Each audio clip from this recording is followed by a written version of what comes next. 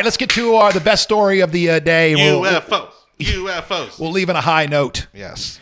Um, Harry Reid, uh, former Senate Majority Leader Harry Reid, uh, Democrat out of uh, Nevada on Saturday, renewed his call for the United States to fund UFO research, reasoning that the country must pursue studies of space phenomena in the interest of national security and science. Quote, if anyone's, and then come to find out, we're going to, what you're going to learn here in the story is that he was behind uh, some funding of these things going back to 2005. Yep. Uh, but Obama put the kibosh on that in 2012. If anyone says that they have answers, they're fooling themselves. We don't know the answers, but we have plenty of evidence to support asking the questions. This is about science and national security. If America doesn't take the lead in answering these questions, others will. Reid on Twitter, linked to a Saturday New York Times report about an advanced aerospace threat identification program, a covert Pentagon project which investigated uh, unidentified flying objects. What's great about when this kind of stuff comes out, let me scroll up a little bit there. Oh, what's up with these jackets? Those things look alien to me. Yeah, that, well, you know, obviously I was doing uh, uh, some Google shopping, and this is the kind of clothing I was looking for. You're right. That does looks like Where are you hanging out on the weekends, Fish? Well, no kidding. It looks like something uh, from the Star Wars universe or It something. does. and I like it. So, um, uh, the newspaper reported that despite the decision of the Department of Defense to defund the project in 2012, its backers say the program remains in existence. I think this is set up for a new Harry Reid Netflix show. Personally, I don't think it's real. and uh, Advanced Aerospace Threat Identification Program is will be appearing, re- uh, debuting on Netflix sometime soon because I mean that's perfect. You, you, you know these people who are creating, they write these movies and these little TV series and stuff like that. They see something like this and they go, "There you go. There's my next TV se- series." Well, there was two things I was fascinated by as a kid growing up. One of them was the JFK assassination, and the other was UFOs. Um, I, I, I don't follow it that closely, um, but I was always fascinated by anything I could read on on UFOs. And to me, this is absolutely amazing. I mean, obviously, at first, it's very easy to dismiss as we're blowing money and and we're you know this is a waste of time and a waste of resources. And um, but again, I, I find it hard to believe that we're the only uh, type of living beings uh, in the universe. Uh, and two, the most fascinating part about this story, without a doubt, is the YouTube video. Oh yeah, this one right here. Oh yeah. Oh wait, that's the Twitter. Wait, hold on. Yeah, we got to play the YouTube video because it's easy to dismiss this as you know like a oh kooky old Harry Reid kind of thing, and uh, until you watch that video, you're like, wait a second, Is this the? Where did that? Did, did the video end up being on the uh, already? it's there. I think uh, you, you scrolled past it. This right here. I don't know because I'm not. Oh, you can't not what's see. on the screen. Oh, oh, my, I guess I can do it. My bad, my bad. So this one right here. I think that's a That was just a. that's a screenshot. where I thought it was embedded in the story. No, No, we'll see it. Um. Oh well. I know I watched Son it. Son of a. Oh wait, you know what? Let's just do this: glowing auras and black money. All right, let's just do this and see if. uh ah, I wonder if it'll come up. Probably not. I was going to say I wonder if it'll come up in my uh, YouTube feed. They are not. All right, New York Times isn't let me. I, I guess I've. uh I've. I've gone to the New York Times too many times this month. Maxed out. Yeah. Maxed out. Same thing happened with the story this morning on the uh, Washington Post that I uh, pulled up. They're like, hey, I see you love our writing. Why don't you pay for it? Because, because I. 2017, man. yeah. All right. Well, let's just get back to the story itself then. Yeah. If I don't have the uh, the video. But well, what'll be interesting to see is if uh, you know he continues to get the funding for this. I I think it's very necessary uh, in a weird way. I think it's necessary that we we we figure out because there is enough evidence out there. I think to justify the fact that we need to figure out what the hell this is. But they're also saying that this is still going. This is what I think the cool part of the story is they're saying that the Advanced Aerospace Threat Identification Program, um, although it was officially defunded, has is still going.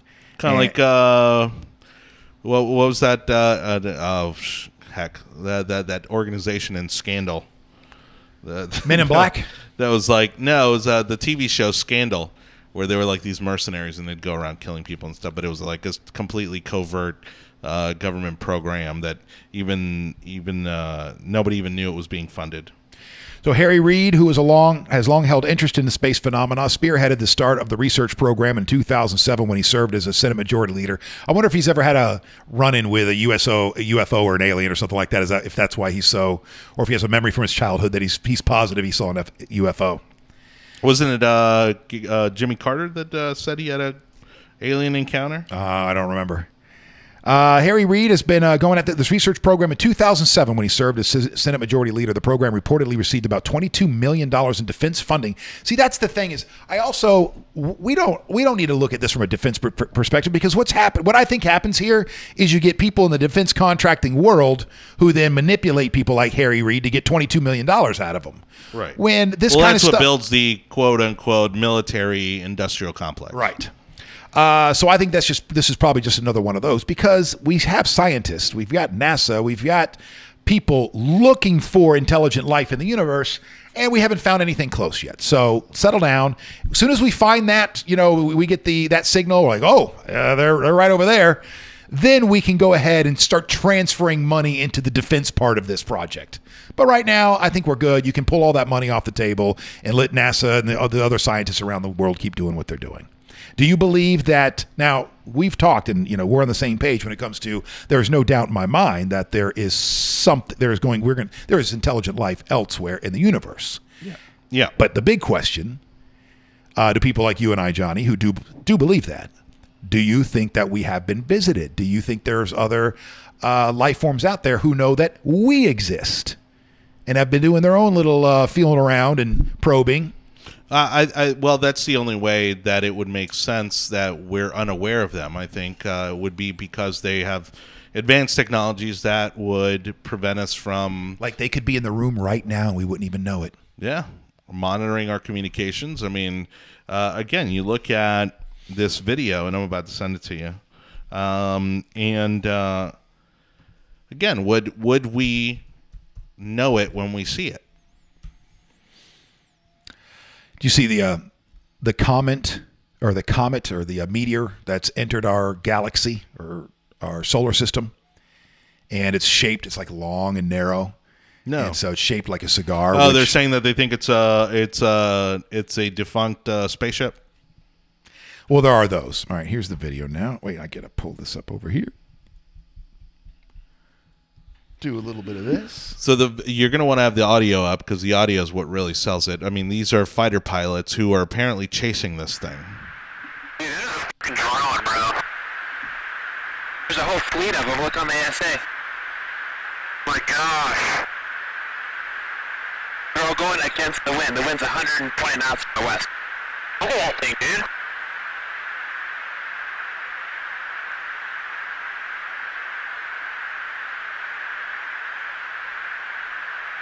That's not our LNS though, is it? It's not. That is the LNS, dude. Well, if there's like... Look at that thing. It's rotating. That is, that's, that is unnerving at the end Yeah. as it rotates and continues to move forward like that. Well, But- and, and these are fighter pilots. If this were, let's say, a commercial flight, then you could say, okay, well, these pilots maybe aren't up to speed on And they might be drunk. whatever commercial pilots. we, they're, they may not be up to speed on whatever the government's doing, right? You know, maybe these are drones. Somebody was saying, you know, maybe it was a drone and that sort of thing. Fighter pilots would be well aware or informed of the fact that there is something else up there with you. They would not be told to chase this thing down, whatever it is. Put that back up again because I, um, I want you guys to watch right here when it all of a sudden rotates. Yeah, It stops and then rotates. That's not our LNS though, is it? It's not. That is the LNS, dude. Well, if there's like... Look at that thing. It's rotating. It slows down and then it rotates. Um, the program that began in 2007 and was largely funded by the request of Harry Reid, who is a so this is the video that they put up, um, but there was no details about that video. Did you see when you watched it Like where it came from? Do Uh, it I think that's where I saw it last night. Was on Twitter. Okay. Yeah. So- I think that's the one I saw. Uh, I think, although I do think it is on YouTube. Not that, um, the, not that it would have much much more detail than that. I don't think. What kind of details are you thinking? well, the thing when it comes to stuff like that, I mean, in the end, we're making a lot of assumptions. You and I are making a lot of assumptions right now. These are Air Force pilots. This is official. Blah well, that blah was blah. in blah. the story. I think. Um, was it not in the, the the tweet that I sent you? The no, that was just about the 2007. That was just about Harry Reid. Uh, the story was about Harry Reid. Um, no, listen, that's not the only video. There's plenty of videos out there. Those uh, very compelling stuff that you see over Mexico City from a couple years ago. They're all around the world. You see this stuff. So let me so let me just ask the question again. Do you think? You, I know that you believe that there is intelligent life in the universe. Has it made contact with us here? Has intelligent is intelligent life right now buzzing around doing their own scientific experiments?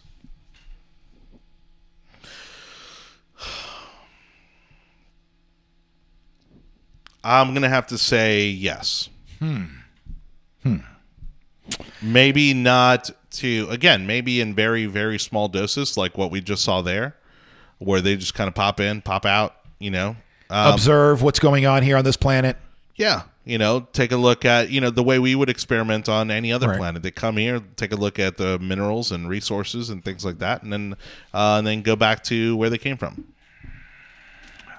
I I want to believe that, but I I just don't think so. I just I don't know. I think these are all all these things that we've seen and all the pictures and whatever we can explain else, you know, and uh, we can explain away.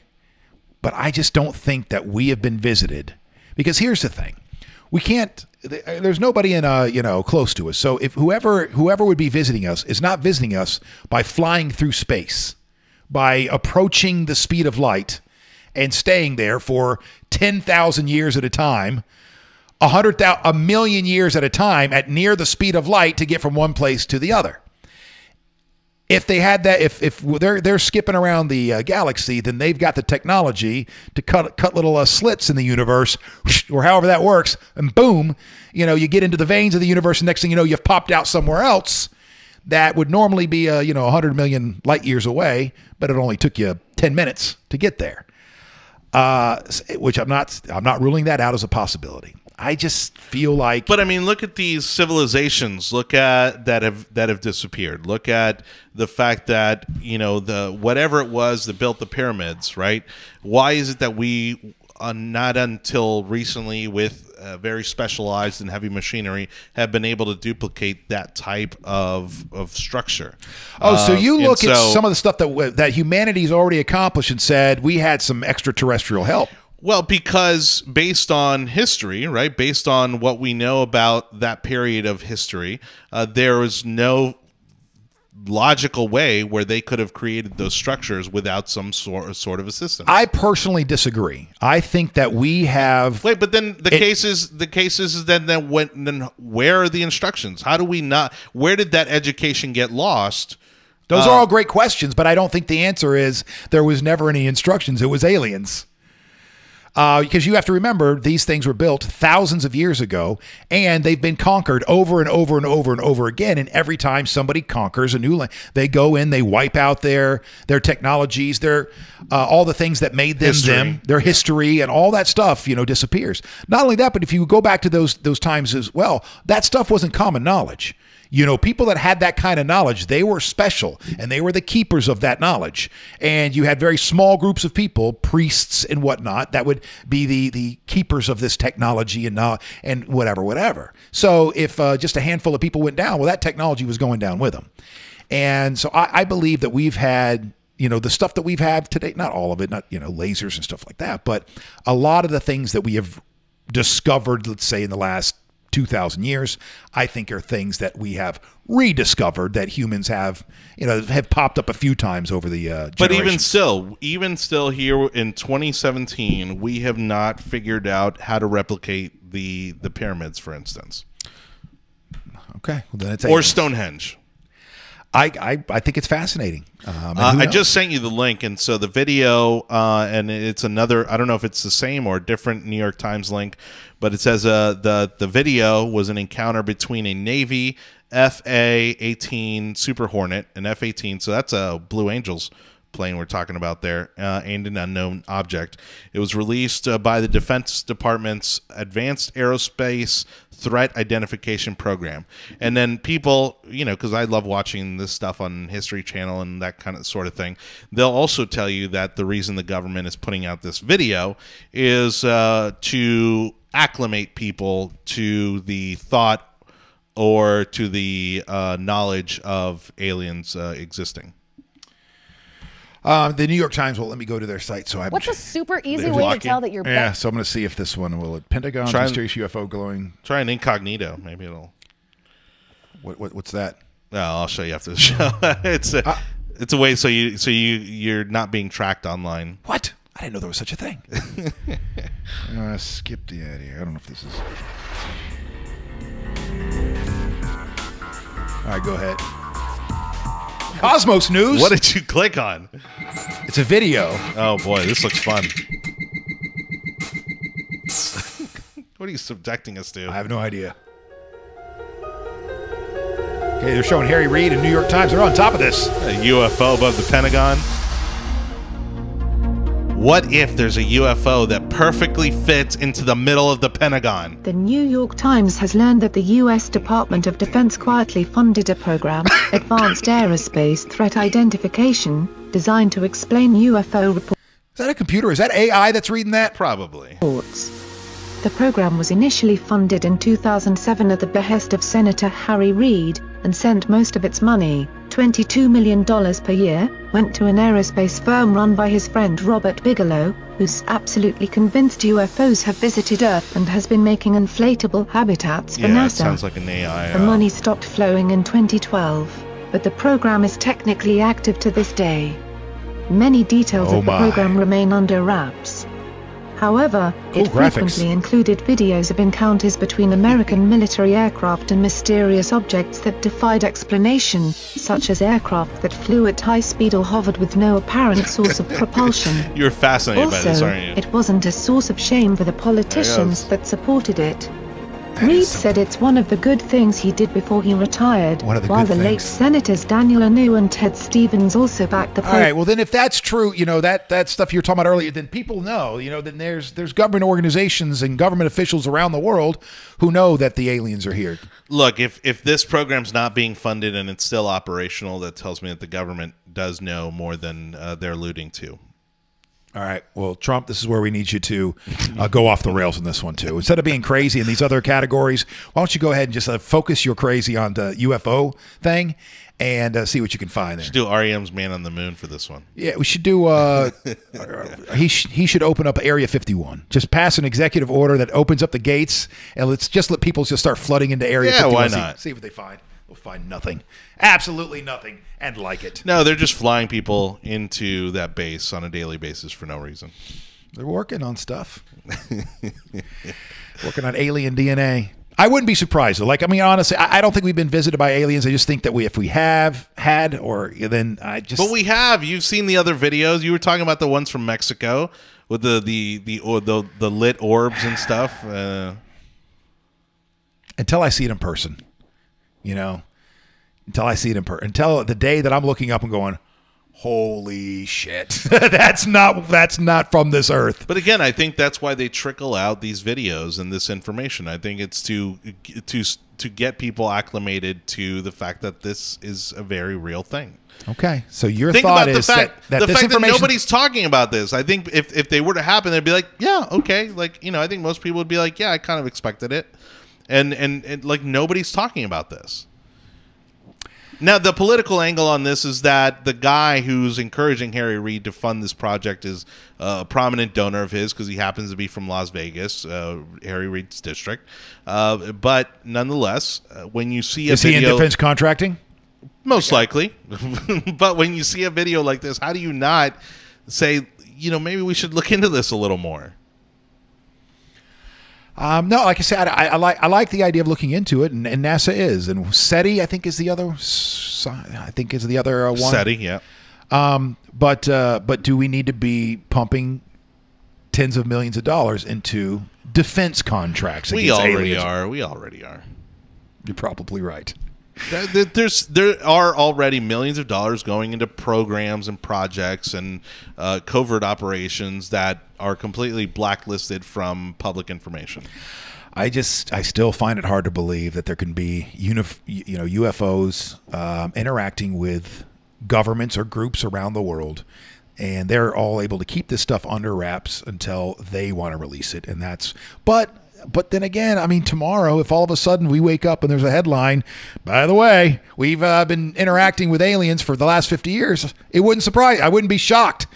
I, I wouldn't be walking around going, "Oh my God, what do we do now?" They go, "Oh, I knew, son of a."